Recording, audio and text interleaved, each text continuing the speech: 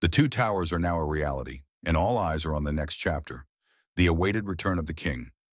SpaceX's second launch tower at Starbase has been fully installed, an achievement accomplished in a remarkably short time, once again capturing the world's attention.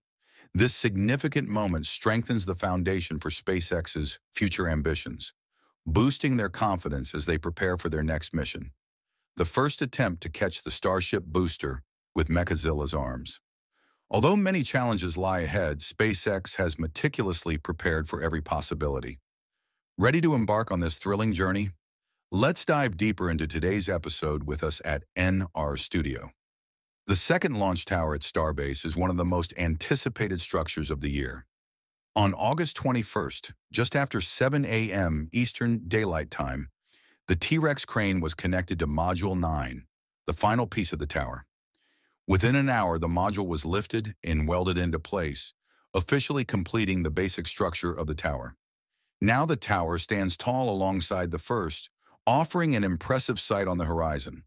To mark this achievement, SpaceX tweeted, the second launch tower has been installed as the latest addition to Starbase, with Elon Musk adding his own comment, the two towers.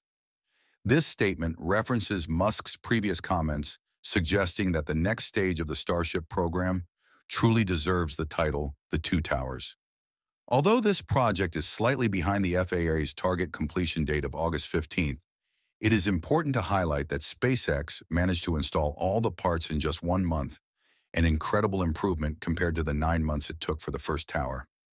This delay is unlikely to impact the overall schedule. Now, SpaceX is moving into phase three of the plan, which will continue until January 28th next year. This phase will focus on developing additional systems, including the Mechazilla arms, the orbital launch mount with a water-cooled steel system, or flame trench, the tank farm system, and fuel rails. These advancements are crucial as SpaceX aims to increase their launch frequency with an initial target of 25 flights per year. As Starbase evolves, this new launch tower will play a key role in SpaceX's plans to catch the Starship stage in the future. It marks a significant step toward achieving full reusability of their giant rocket, a goal that no other organization has yet accomplished. This ambitious target could be realized as early as Flight 6 or Flight 7. Although many steps still need to be taken, the completion of the second tower has laid an important foundation for SpaceX's future endeavors. Ready to enter this new phase? If so, respond with the number one in the comments below.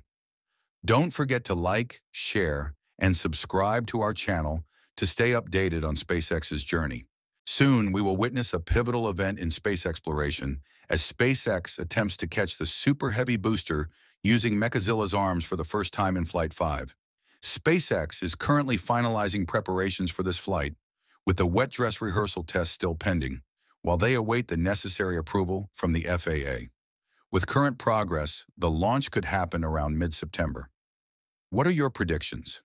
Share them in the comments below. What can we expect from this flight? While many procedures will follow previous missions, this flight introduces two important elements. First, the spacecraft may conduct an in-space engine ignition test, a task that was skipped in the previous two flights. Testing the engine in space is crucial as SpaceX prepares for longer missions in the future. However, the biggest challenge is the attempt to catch the Super Heavy booster with Mechazilla's arms. Elon Musk recently shared a video highlighting this process, emphasizing SpaceX's commitment to this revolutionary endeavor. Unlike previous flights where the booster soft landed in the Gulf of Mexico, this time it will return to the launch site, a maneuver involving much more complex procedures. The grid fins must be highly active in guiding the booster's descent, and although this system has performed well in the past, this trial will be far more challenging. The engines, especially the gimbal engines, will play a critical role in steering the booster and managing its deceleration, with the entire descent expected to take about 10 minutes from an altitude of over 60 kilometers. As the booster approaches the launch tower, the process becomes increasingly complicated. The grid fins and engines must work in harmony to guide the booster into position, with precise speed control and alignment.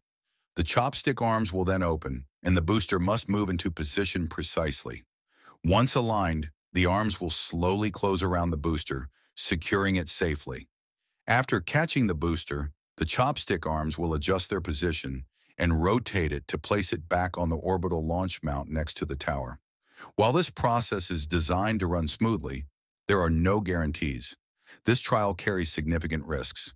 The navigation process itself could be problematic, as this will be the first time the engines and grid fins perform such a complex task. Previous flights have shown that engine failure at critical moments can cause the booster to deviate from its planned path. Once the flight phase is over, the approach and landing become more challenging. If issues arise, SpaceX might choose to land the booster at sea.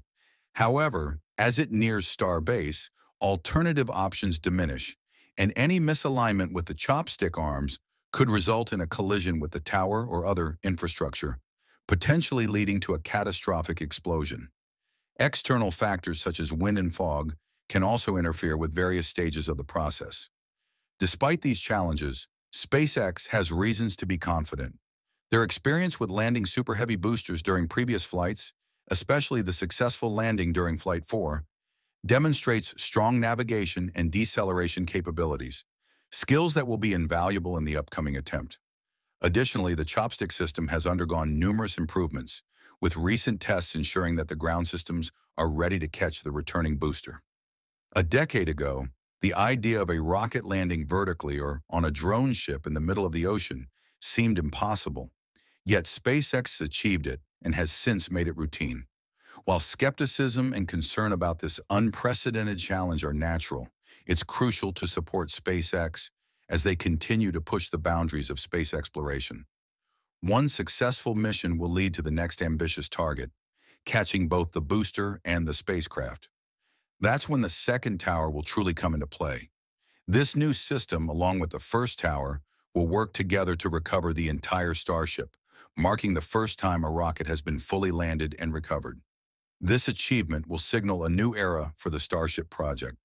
Over time, more towers and flights will join, heralding the return of the King, the future leader of the aerospace industry, Starship.